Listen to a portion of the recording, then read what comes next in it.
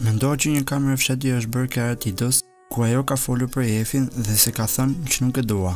A mos val ka një krisi mes tyre dhe mes duket, as Efi nuk ka dashur të flasë për këtë gjë, duke lënë që të gjë në fatin e Luis Elit. Pra, të jetë Luis Elli i cili do të vendosë nëse dëshiron të vazhdo shëqërin me Efin dhe në kratë të kjarë atitën, apo dëshiron mos të vazhdoj me shëqërin me Efin, duke qënë se kjara me Efin, mesa duket e ka ndarë rukëtimin e tyre duke mësjen me shoqe me njëra tjetër.